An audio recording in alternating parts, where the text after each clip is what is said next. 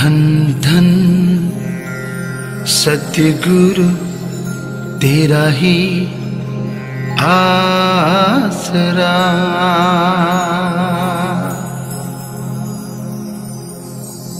धन धन सतगुरु तेरा ही आसरा।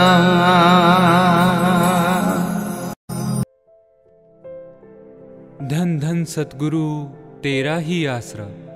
हे एम एस जी आप जी से अरदास है कि हमारे एम एस जी संत गुरमीत राम रहीम सिंह जी इंसान हमारे गुरु, हम सब के बीच देह रूप में जल्दी से जल्दी आए और हमें अरबों गुना खुशियाँ बख्शें जी।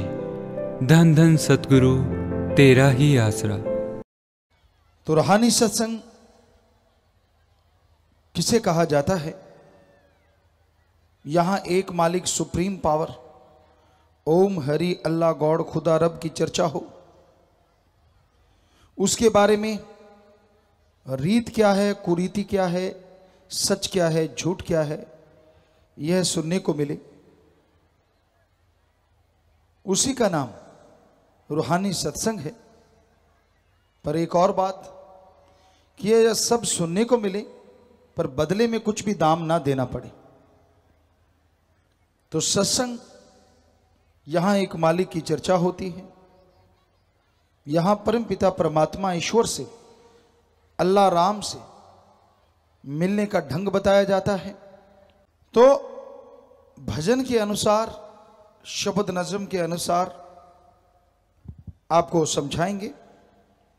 जिस नाम का लिया सहारा, उसे काल बली ने ना मारा, भवसागर ये गहरा है भारा, बिन मांझी ना मिलता किनारा।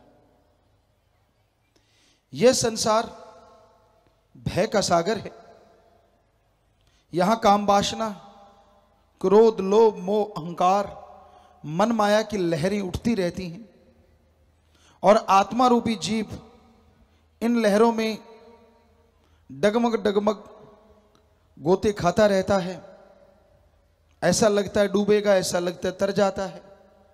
यानी इंसान अपनी ज़िंदगी में कई बार मरता है और कई बार पुनर्जीवित हो जाता है। जीते जी मर के जीवन हासिल करना बड़ा ही दुखदाई है दुनियावी निगाह से।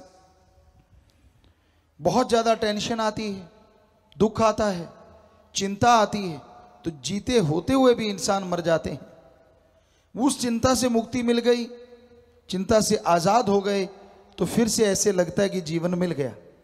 तो यूँ ज़िंदगी में पता नहीं कितने बार इंसान के साथ होता है तो ये रोज रोज के मरने से रोज रोज के मरने से, तड़फने से, छुटकारा अगर आप हासिल करना चाहें तो वो किया जा सकता है, और उसके लिए ओम हरि अल्लाह गौड़ खुदा रब का नाम है। भक्ति का वो तरीका है। अगर उसका जाप करो, अगर उसका अभ्यास करो तो आप जन्म मरण से आज़ाद हो सकते हैं और जीते जी।